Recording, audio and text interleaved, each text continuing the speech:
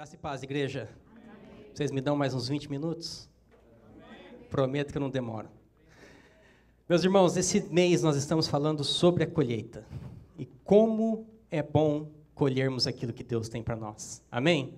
Afinal de contas, nós plantamos, nós temos o trabalho pesado de plantar com a esperança de colher. E nessa manhã eu quero vir dizer a vocês que Deus é um Deus que faz frutificar nas nossas vidas. E o tempo da colheita vai chegar. Nós podemos ver testemunhos de pessoas ao nosso redor, nós podemos ver testemunhos dentro da palavra de Deus, de pessoas que plantaram, pessoas que se permaneceram firmes na palavra de Deus e o tempo da colheita chegou. Nós podemos testemunhar da pastora Marcilane, que está no Brasil neste momento. Após 11 anos esperando, 11 anos orando, semeando com lágrimas, jejuando, permanecendo firme nos caminhos do Senhor. Demorou 11 anos, mas o dia da colheita chegou na vida dela. E nós podemos ver histórias assim na vida de cada um de nós. Cada um tem uma história diferente para contar. Cada um colheu algo em Deus que os testemunhos seriam grandes demais. Mas eu quero te dizer, seja lá no tempo passado, na travessia do Mar Vermelho, ou seja, Daniel na cova dos leões, o mesmo Deus que fechou a boca dos leões, o mesmo Deus que abriu o Mar Vermelho, é o mesmo Deus que levou a pastora Marcilane ao Brasil. É o mesmo Deus que nos sustenta aqui, dia após dia. Amém, meus irmãos? Só isso que eu quero deixar com vocês nessa manhã. Que vocês entendam a soberania de Deus e que o dia da colheita vai chegar na sua vida. A palavra de Deus diz que tudo que o homem semear, isso também colherá. Nós passamos por uma série de ensinos alguns meses atrás, onde nós aprendemos a preparar a terra, arar a terra que é representada pelo nosso coração, a nossa vida, mudar o que precisa ser mudado, transformado para que a colheita venha. Nós aprendemos a escolher as sementes certas para nós plantarmos, porque afinal de contas nós temos colhidos frutos errados algumas vezes. São sementes que nós plantamos no passado e nós temos colhidos, colhido sementes amargas que nós não queríamos estar colhendo. Então nós aprendemos dentro da palavra de Deus algumas sementes que nós deveríamos estar plantando. Amém? Mas tudo isso eu só quero te dizer que a sua promessa vai chegar. O dia da colheita vai chegar. Amém? Nós só temos que permanecer firmes nos caminhos do Senhor. Temos que permanecer alinhados com o propósito de Deus para as nossas vidas. Afinal de contas, se nós não estamos alinhados com o propósito de Deus, a promessa não vem. Eu quero contar uma historinha para vocês. Nós podemos ver o povo na saída do Egito. Quando Deus prometeu Canaã, prometeu tirar o povo do cativeiro do Egito. Todo aquele povo, eles tinham a promessa de entrar naquela terra. Mas eles passaram por uma travessia pelo deserto, uma travessia de 40 dias, que acabou se tornando em 40 anos. Uma travessia que não era para durar mais do que 40 dias, mas aquele povo ele foi colocado em teste. Eles foram provados nas ações deles. Eles foram provados nas respostas que eles tinham que dar para Deus. Como a pastora, Deus, a pastora Cleusa sempre prega aqui, não tem um mês que passe que ela diz que Deus não responde perguntas, ele responde respostas. E as nossas vidas é um teste diário. E as respostas que nós damos para Deus, que, que, no, que determina o tempo da colheita nas nossas vidas, que determina quando a promessa vai vir. Amém? Então, aquele povo, nós podemos ver que as respostas deles não foram respostas que Deus esperava. Então, a travessia que era para durar apenas 40 dias, ela durou 40 anos. Deus acrescentava um ano para cada dia no deserto. E a maioria deles morreram sem ver a promessa se cumprindo na vida deles. Amém? Amém? Não, diga misericórdia. Eu não quero morrer, eu não quero morrer sem colher os frutos que Deus tem para minha vida. Amém? Então está na hora de nós olharmos e pedir para Deus, me ajude a dar as respostas que o Senhor quer que eu dê. Amém? Se nós andamos alinhados, se nós damos a resposta certa para Deus, a promessa vai se cumprir. Cutuca seu irmão nessa manhã, diga para ele assim: acorda, Preste atenção naquilo que Deus quer ensinar. Preste atenção nas respostas que você vai dar para Deus, porque a promessa de Deus vai se cumprir na sua vida. Isso é palavra de Deus, meus irmãos. Se nós estamos alinhados com Deus, isso vai acontecer. Mas nós precisamos tomar cuidado com a resposta que nós damos a Deus depois que a promessa se cumpre. Nós temos que estar sempre pensando como nós andamos. Nós temos que estar sempre procurando nos santificar, nos purificar, estar conectados com o trono. Amém? Para que a promessa se cumpra e para que depois que a promessa se cumpra, nós também demos a resposta certa para Deus. O título da palavra de hoje é Se encantando com a colheita e se esquecendo do provedor. Que silêncio, gente. Diga para o seu irmão: se encante com a colheita. Não tem nada de errado você se encantar com a colheita. Porque, afinal de contas, se Deus permitiu que a colheita viesse sobre a sua vida, é porque Ele quer que você colha. E Ele se alegra em você se encantar com a colheita. Mas, de maneira alguma, nós podemos nos esquecer do provedor. Amém? Eu quero ler um texto em Deuteronômios 8, versículo 1 ao 20. É um texto longo, se vocês quiserem ler comigo, acompanhar. Deuteronômios 8, 1 a 20.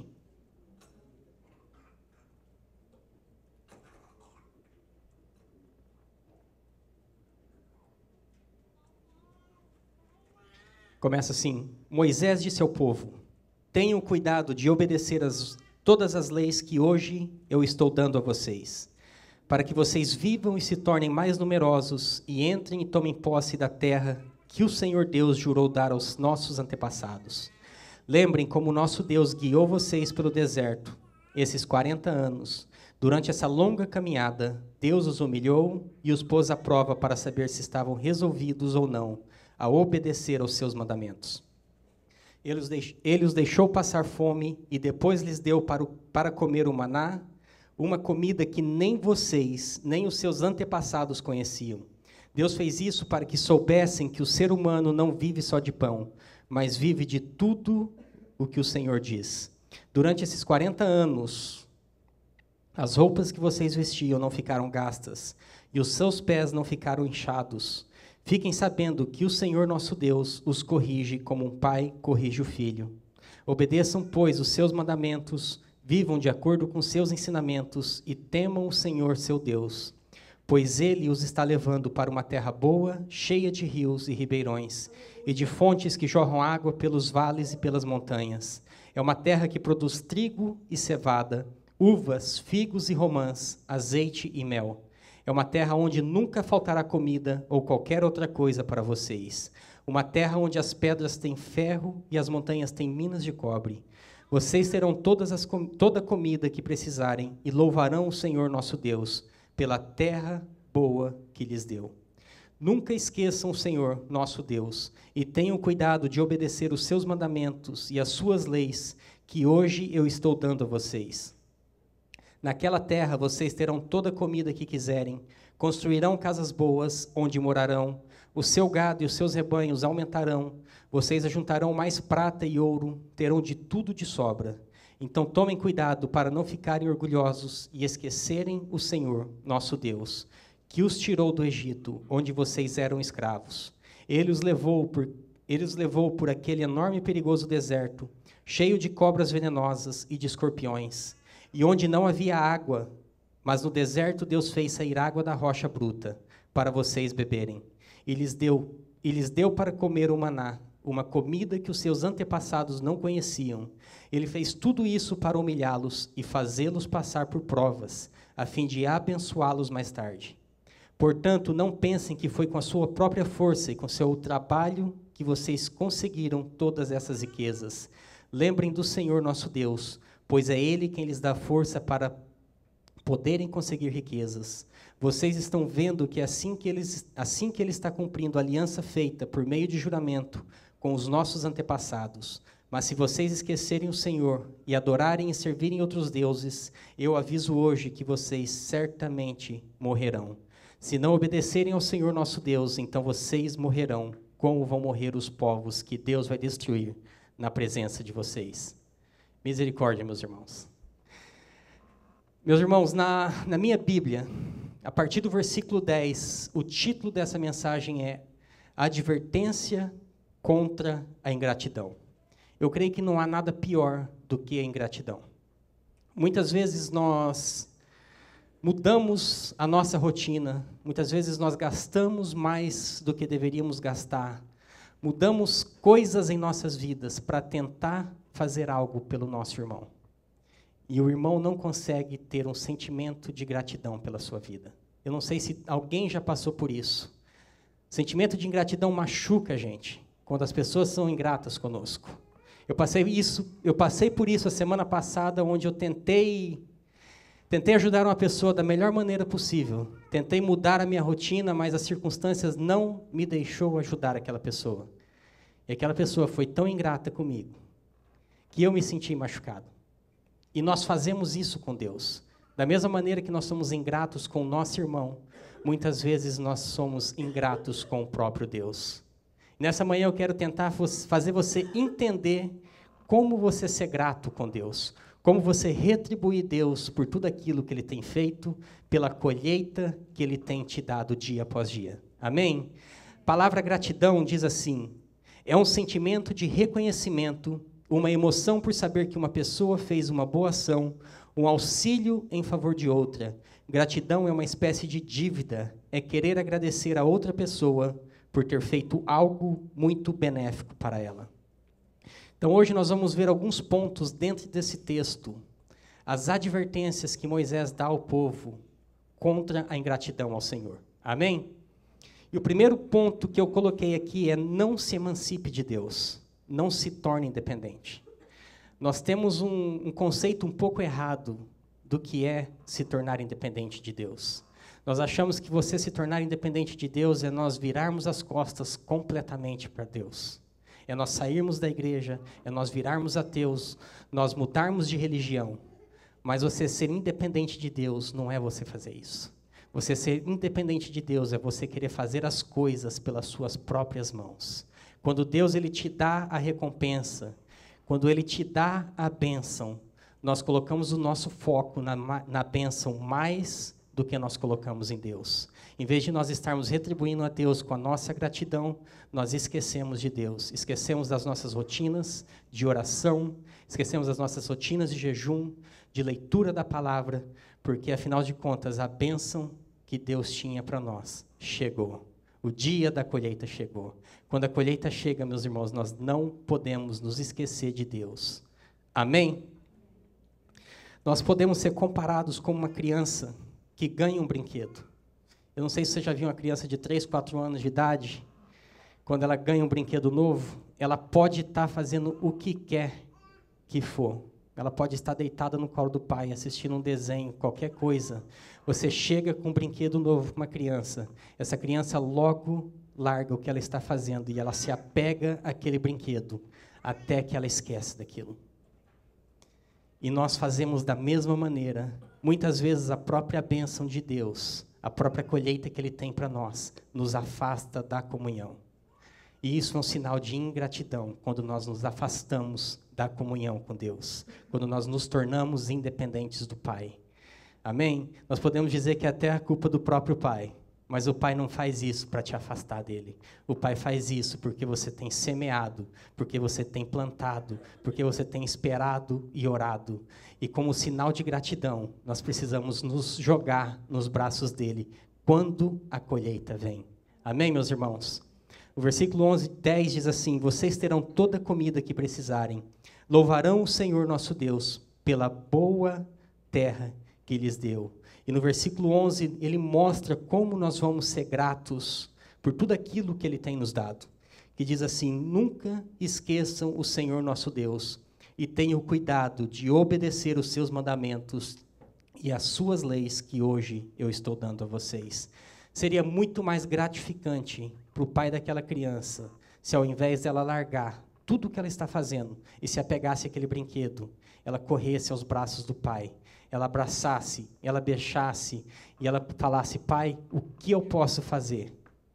Como eu posso te agradecer por isso que você tem dado? Amém, meus irmãos? Deus vai dar. A bênção vai chegar. É a palavra de Deus e ela não muda. O que nós precisamos ter entendimento é que nós precisamos ter um sentimento de gratidão e nunca ser independente de Deus. Precisamos nos voltar para Deus e depender dele cada vez mais, até depois da colheita, quando ela chega. Amém? Esse é o primeiro ponto. Segundo ponto é tenha o cuidado de obedecer os seus mandamentos. Nós podemos ver na parte B do versículo 11 que diz assim: Tenha o cuidado de obedecer os seus mandamentos e as suas leis, que hoje eu estou dando a vocês. Eu não quero falar muito sobre obediência às leis de Deus. Afinal de contas, tudo que é pregado nesse púlpito é sobre obedecer a palavra de Deus, é obedecer a lei de Deus. Mas eu quero levar vocês a entender que quando nós não andamos em obediência, nós não estamos sendo gratos a Deus. Nós estamos tendo um sentimento de ingratidão no Pai. Ah, uma casa, para ela andar em harmonia, todos dentro de uma casa têm as suas tarefas diárias.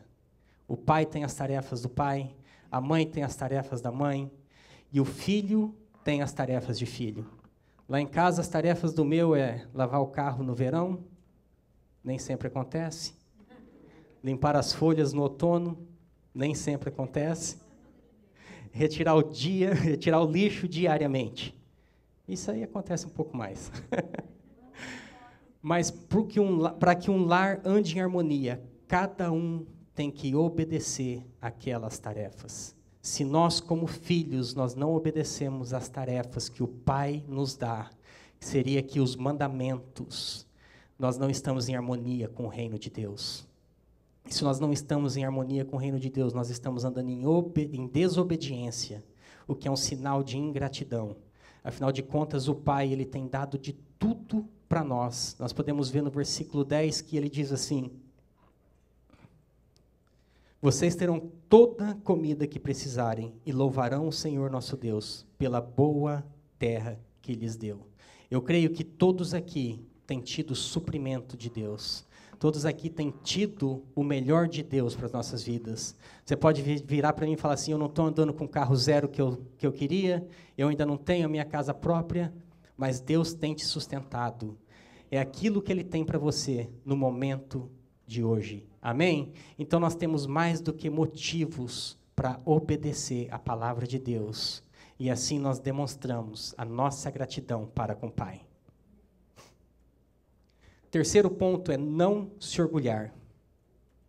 Orgulho é uma característica de alguém que tem um conceito exagerado de si próprio.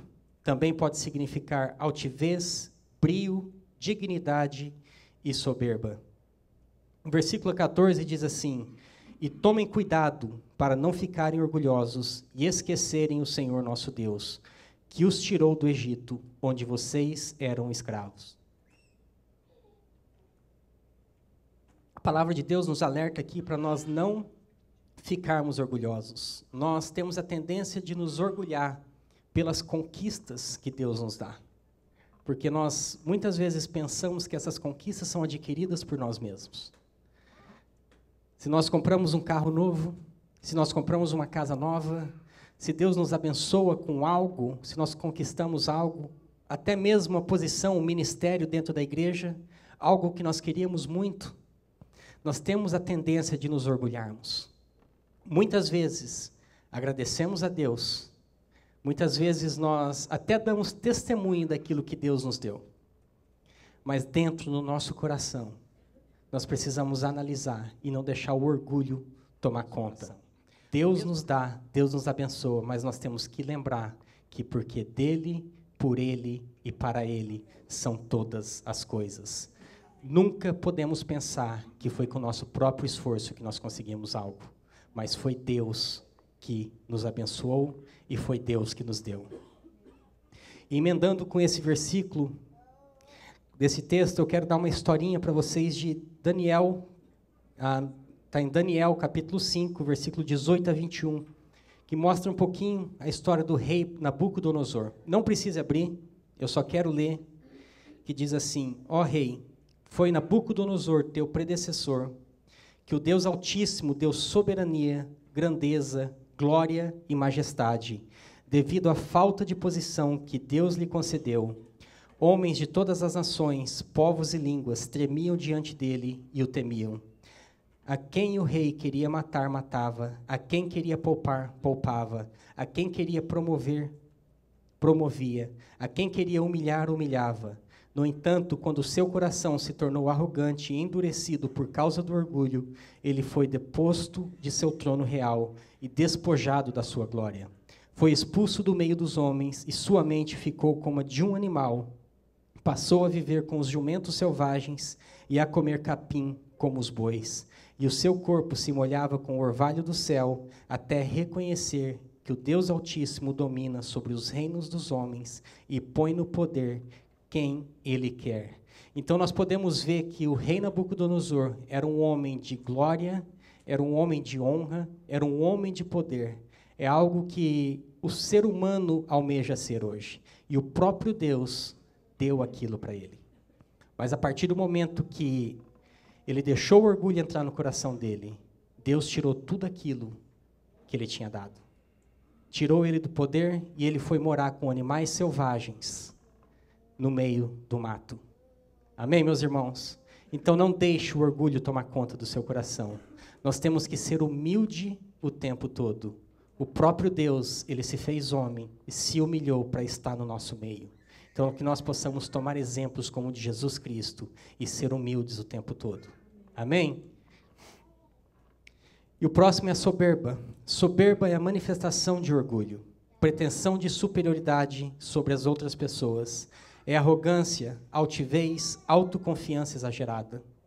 É o orgulho que gera a soberba, meus irmãos.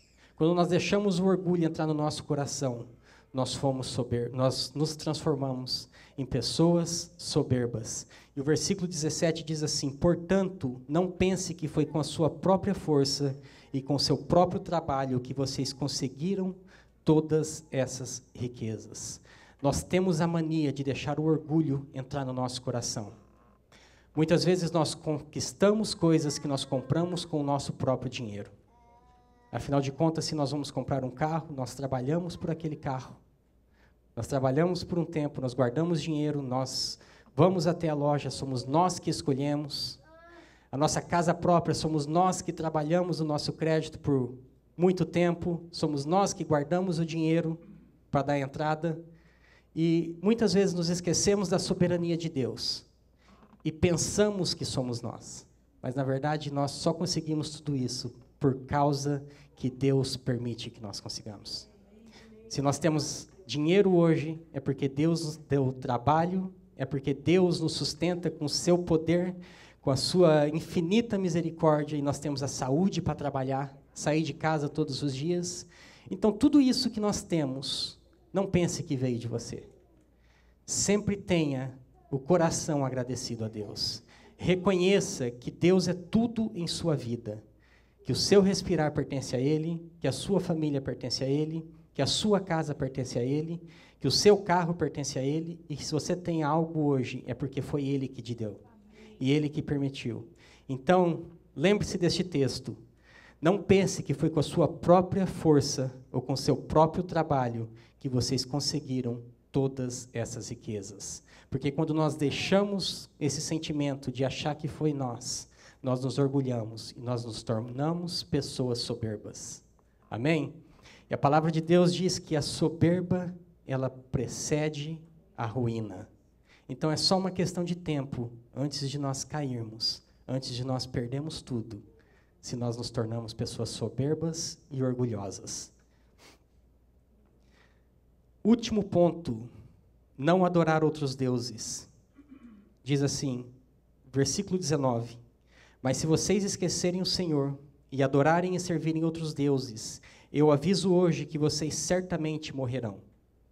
Como nós temos o conceito errado do que é adorar outros deuses. Adorar outros deuses, muitas vezes nós pensamos que o irmão da religião da esquerda adora outros deuses porque ele se prostra diante de imagens. Adorar outros deuses, pensamos que são somente muçulmanos, porque eles não adoram o mesmo Deus que nós. Mas muitas vezes nós estamos adorando outros deuses diariamente em nossas vidas sem mesmo que nós reconheçamos que estamos adorando.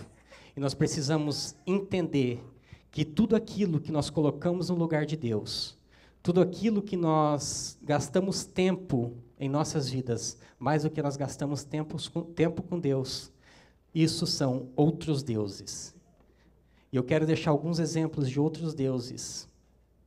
Isso são exemplos próprios meus, gente. Não estou acusando ninguém. Isso acontece comigo.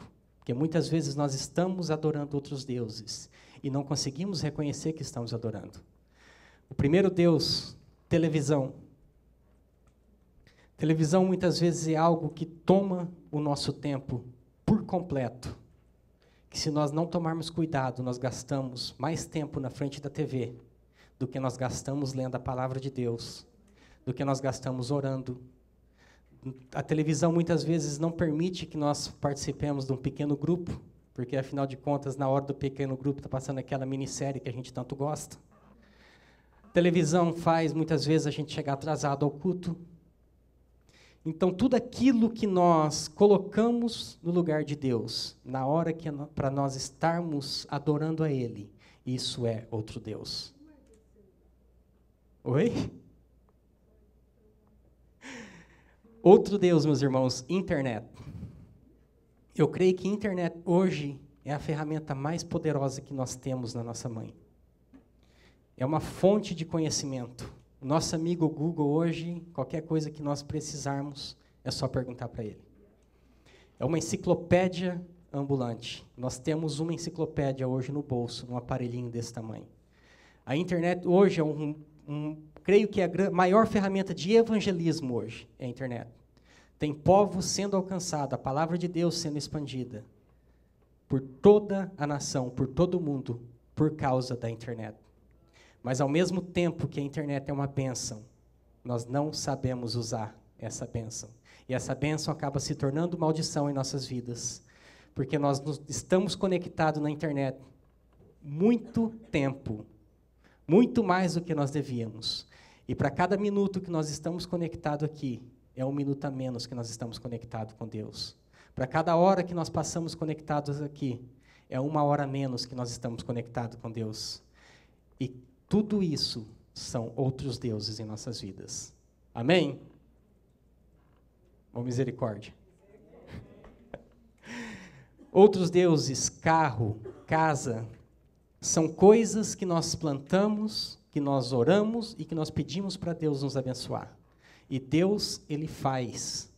Ele nos dá carros novos, Ele nos dá casa nova. É o sonho de todas as pessoas. E um dia ele vai se concretizar. Se você está andando nos caminhos do Senhor, se você está plantando, se você está alinhado com o propósito de Deus, isso vai se cumprir na sua vida. Mas quando Deus nos dá a nossa bênção, nós precisamos saber administrar aquilo que Deus nos dá e colocar para a obra dele. Amém? Então não, não se encante muito com os seus bens e não se esqueça de Deus. Porque se você se encantar muito e se esquecer de Deus, você está adorando outros deuses. Ministério. Ministério é serviço na casa de Deus. E muitas vezes pessoas colocam ministério acima do próprio Deus. Pessoas envolvidas com a obra, mas se esquecem do próprio Deus. Até isso pode se tornar um outro Deus na sua vida. Filhos, esposas, maridos, famílias que nós oramos e pedimos tanto para Deus. Afinal de contas, todos querem. Mulheres que gritam: Deus, dá-me filhos. E quando Deus dá, nós não sabemos administrar o tempo e acabamos deixando o trabalho na casa de Deus, acabamos com a má administração do nosso tempo, nós não conseguimos orar, nós não conseguimos jejuar, nós não conseguimos participar de eventos espirituais, eventos que nos levam ao crescimento. Então, esses são alguns exemplos de outros deuses que nós cultuamos, outros deuses que nós adoramos, ao invés de estar adorando ao nosso Deus. Amém, meus irmãos? Era isso que eu queria deixar para vocês. O que nós precisamos é ter um coração de gratidão.